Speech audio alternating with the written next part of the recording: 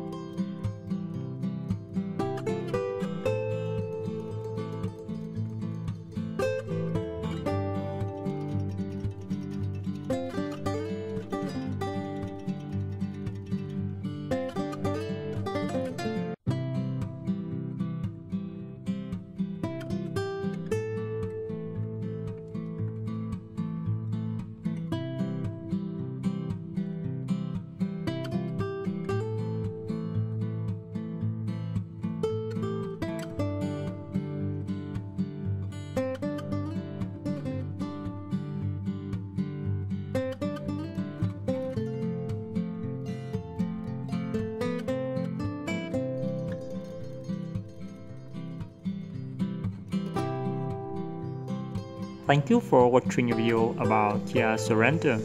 I hope you can find something interesting when watching a video about Sorento. Thanks again for watching.